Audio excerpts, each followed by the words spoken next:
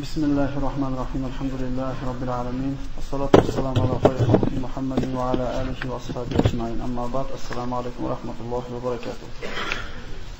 Bu sahabi hakkında Resulullah sallallahu aleyhi ve sellem quyidagi sözlerini aytadi. Makkada 4 kishi bor. Bularga shirkda turishlik hargiz yarashmaydi. Va mana shu 4 kishini islomga kirishigidan umidim bor dedi. Mana shu to'rtta kishini sanab o'tganda Rasululloh sollallohu alayhi vasallam Hakim ibn Hizom roziyallohu anhu ni sanab o'tadi. Bu sahobiy jalil haqida eshitganmizmi? Tarix varaqlarni varaqlarga varaqlar ekanmiz. Faqat faqat shu kishigina, faqat shu kishigina Ka'batullohda ichida tug'ilganligi tarix kitoblarida yoziladi. Bu ana shu Makkada ma'lum bir e, mavsum yoki qandaydir bir munosabat bilan Ka'ba eshiklari ochiq turgan paytda makkalik bir to'p ayollar Ka'batullohni ichini ko'rgani kiradi. Ularning ichida Hakim ibn Hizomning onasi Hakim ibn Hizomga homilador bo'lgan holda, ana shu tug'ishlik kunlar yaqin bo'lgan holda kiradi va mana shu joyda u ayolni to'loq tutib Ka'batullohdan tashqariga chiqishlik imkoniyati bo'lmaydi-da, Ka'baning ichida tug'iladi. Bu tarixda yagona Ka'batullohning ichida tug'ilgan sahobiy Hakim ibn Hizom roziyallohu anhu. Hakim ibn Hizom Makkadagi eng bir oliy nasabli, hurmat e'tibori baland bo'lgan va moli dunyosi nohati serob bo'lgan boy badavlat, nasl nasabi oliy bo'lgan oilada dunyoga keldi. Shunga qo'shimcha ravishda Alloh subhanahu va taolo bu zotga fazl, aql, fahm va farosat degan narsani ziyoda qilib ato etdi. Ya'ni bu kishini shunday bir aqlda, fahm farosatda, nasl nasabda, mol davlatda boshqalardan ustun bo'lganligi sababli Allohning uyini haj qilgani kelgan hojilarni rioya qilishlik, ulardan muhtojlarga yordam ko'rsatishlikni mana shu kishini qo'liga topshirishgan edi. Rasululloh sallallohu alayhi vasallamdan u kishi 5 yosh katta bo'lishiga qaramasdan Muhammad ibn Abdulloh payg'ambar bo'lishidan avval Hakim ibn Hizom bilan do'stligi nihoyatda qattiq bo'ladi. Hakim ibn Hizom roziyallohu anhu Hadicha onamizning Hadicha onamizning akasining o'g'li bo'ladi. Endi Rasululloh sollallohu alayhi vasallam Hadicha onamiz uylangandan keyingi bu payg'ambarimiz bilan bo'lgan do'stligi yana ham mustahkamlashadi. Chunki Rasululloh sollallohu alayhi vasallam Hakim ibn Hizomni ammasiga Hadicha binti Xuvalidga uylanadi.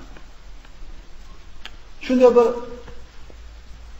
do'stlik aloqalari qalin bo'lishiga qaramasdan, hattoki qarindoshlik bo'lishiga qaramasdan islomni Hakim ibn Hizom payg'ambar sollallohu alayhi vasallam islom nurini olib chiqqandan 20 yildan keyin iymon keltirganiga hammamiz ajablantirsa kerak. Bu siz bilan biz ajablanamiz albatta. Shunday bir zo'r muomala bo'lsa, kuyov ularga bir qarindoshi aloqalar bo'lgan bo'lsa, nima uchun deb hayron bo'lamiz. Hakim ibn Hizom o'zi ham hayron bo'ladi. Alloh taolo taqdirni, Alloh taoloning mashiyati 20 yildan keyin iymon keltirishni Alloh taqdir qilgan. Masha Allohu kana va ma lam yasha lam yakun. Alloh taolo nimani xohlagan bo'lsa bu narsa bo'ldi va nimani xohlamagan bo'lsa bu narsa bo'lmadi. Hakim ibn Hizom 20 yildan keyin iymonga keldi. Makka fathidan keyin iymon halovatini, gunohlariga istig'for etib, nadomat chekishlik ko'z yoshlarini, rohatini totigandan keyin qattiq-qattiq o'kinib yig'lar edi. Kunlarda birida o'g'li mana shuni yig'layotganda keladi, ota deydi, "Ha nimaga yig'layapsiz?" deydi. "Agar iymonga kelgan bo'lsangiz, Rasululloh sollallohu alayhi vasallam yonida bo'lsangiz" deganda o'g'lim nimaga yig'lamay? O'tgan umrimni hammasiga yig'layman. Alloh taolo islom degan ne'matga birinchi bo'lib kirishlik ne'matini menga bermadi. Shunga yig'layman. yoki Rasululloh sollallohu alayhi vasallam bilan bo'lgan birinchi ikkita g'azotda, Badrda va Uhudda musulmonlarga qarshi qilish ko'tarib chiqdim. Alloh taolo tirik qaytargandan keyin qaytib Muhammadga qarshi qilish ko'tarmayman deb va'da berdim o'zimga o'zim. Lekin Qurayshning oqsoqollarini tazyiqi zug'um ostida ularga barib yordam beraverdim. Yo shunga yig'layman. Bir necha marta payg'ambar alayhisalom Makkani fathiga kelishidan burun o'zim oldiga borib iymonga kelay deb harakat qildim. Lekin Qurayshning oqsoqollaridan hayo qilib, arablar nima deydi degan hayo bilan, o'y bilan iymonni orqaga surganimdan yig'layman. Hayotimni iymon keltirgungacha bo'lgan hamma muddatiga yig'layman.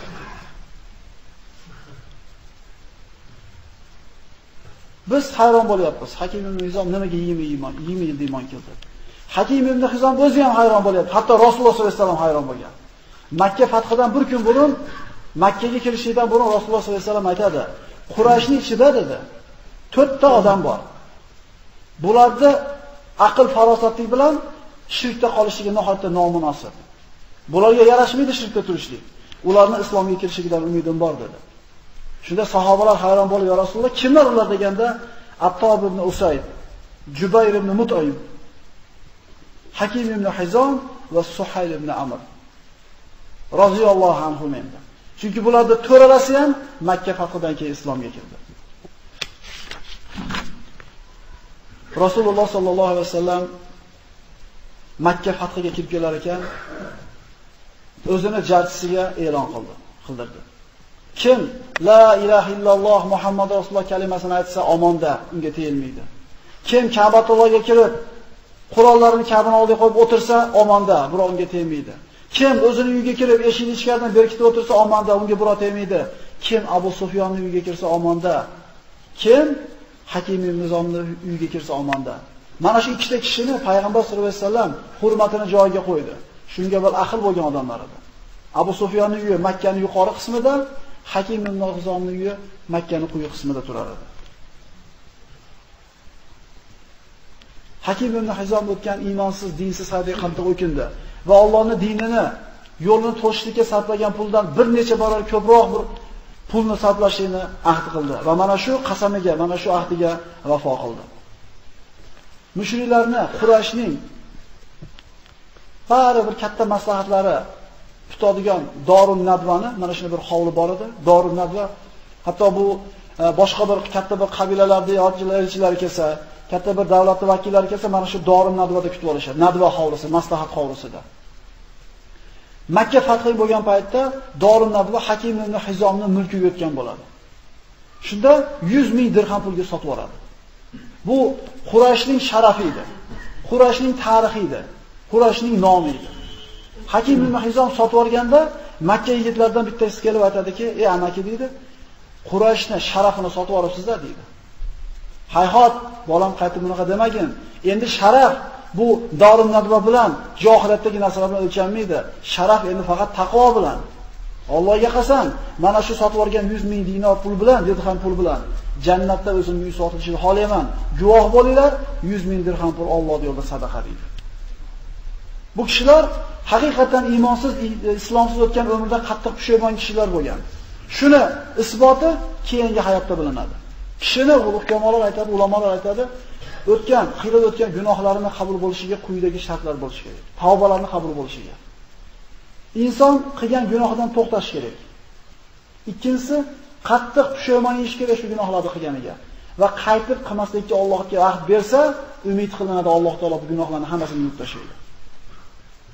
Qaytaramiz. Biz hayotda qilayotgan gunohlarimiz bo'lsa yoki qilib o'tgan gunohlarimiz bo'lsa, Allohning kechirishini xolasa 3 ta shart bor. Shu gunohdan to'xtaymiz. Ey Xudoim o'zing kechirib qo'y deb qilolmaymiz u ishni. Qattiq pushaymon yeymiz va qaytib qolmaslikka ahd beramiz, umid qilamiz Alloh taolo kechiradi. Bu kishilar ana shu so'zni so'zlagan kishilardan bo'ldi. Hakim ibn Hizom roziyallohu anhu haj mavsumida haj qilgan kelgan kelar ekan, o'zi bilan 100 ta tuyani olib keldi va qurbonlik qildi, musulmonlar kambag'allarga hadiya qildi. 100 ta tuya. Keyingi haj mavsumida o'zi bilan bo'yniga kumush halqa ilingan 100 ta qulnab olib keldi. Ana shu halqada, ana shu e, kumushdan bo'lgan halqaga Allohning roziligi yo'lida Hakim ibn Hizom ozod qilgan qul degan har bittasini bo'yinda yozib bor edi. 100 ta qulni olib keldi, e, ikkinchi haj qilgan mavsumida 100 ta qulni ozod qildi. Keyingi haj mavsumida o'zi bilan 1000 ta, ha, 1000 ta, 1000 ta qo'yni olib keldi, Minoda 1000 ta qo'yni qurbonlik qildi, so'ydirdi, musulmon kambag'allarga xayr ihson qildi. Bu kishilar dunyosi bilan oxiratini sotib olgan kishilar. Mana faqirlik haqidagi darslarda ko'p aytdik. O'zingga nima olib kelding desa bir boy aytayapti. Rizqini o'zing berar ekansan, topganimni senga jo'natdim dedi, jannatga kir dedi. Ikkinchisi bola chaqam ko'p edi, kambag'al bo'lib qolishdan qo'rqdim dedi. Bolalaringga kambag'allik yetdi dedi va kambag'alga shunday narsa aytiladi. Ikkita kambag'alga. Bu kishilar dunyosi bilan oxiratni sotib olgan kishilar bo'ldi. Hunan g'azotida Rasululloh sollallohu alayhi vasallam mana juda katta bir g'animaga, juda katta bir o'lja tushdi. Hakim ibn Hizom roziyallohu anhu kelib so'radi payg'ambarimizdan, menga ham bering dedi. Rasululloh berdi. Keyin yana so'radi, yana bering dedi. Yana berdi. Uchinchi marta yana bering deganda, "Ey hakim" dedi. Bu mol nihoyatda insonga yoqadigan shirin taomga o'xshaydi. Kim bu taomni, bu molni ta'magirliksiz olsa, Alloh baraka beradi. Kim ta'ma qilib ko'paytirib bering desa, baraka berilmaydi. Ey hakim biling, beruvchi qo'l oluvchi qo'ldan baland dedi. Shunda ya Rasululloh, sizni haq bilan yuborgan Allohga qasam ichib aytamanki, shu kundan boshlab o'lgunimga qadar biror bir kimsadan biror narsa so'ramayman ham, biror narsa olmayman ham dedi. Rasululloh vafot etdi. Abu Bakr Siddiq roziyallohu anhu har bitta musulmonni Baytul Moldagi haqqi bo'lgan ulushini berar edi. Hakim ibn Hizomni chaqirdi, bermoqchi bo'lganda olmadi. Chunki bular erkak edi. Minal mu'minina rijalun. Mu'minlarning ichida erkaklari bor. Allohga bergan ahdida turadi. Tashadimi? Keyin bo'lmadi, chidamadim deb boshlab olmaydi qaytib. Agar ichimizda shunday bir odamlar bo'ladigan bo'lsa, eshitib qo'yaylik. Mo'min kishi erkak bo'lish kerak. Tashadimi? Bir gunohni qayta boshlamasligi kerak. Mana shularda Alloh taolo rozi mana shularda sobir edi Alloh subhanahu va taolo. Umar ibn Hattob xalifa bo'ldi. Xuddi o'sha hadoyalarni bermoqchi bo'lgan paytda yana kelmadi. Shunda Umar ibn Hattob ana shu musulmonga qarab aytdiki, "Ey musulmonlar jamoasi, bilinglar, men Hakim ibn Hizom Rasulullohga bergan so'zida turganligiga men guvohman" dedi. Bu kishilar Rasululloh sollallohu alayhi vasallam tarbiyasini olgan edi. Bu kishilar qilgan gunohiga tavba qildi. Nadomat chekdi. Qayta qilmaslik va'dasini berdi, shu va'dasida tura oladi. Alloh subhanahu va taolo hammamizga ularning hayotidan ibrat olishni nasib qilgan bo'lsin. Assalomu alaykum va rahmatullohi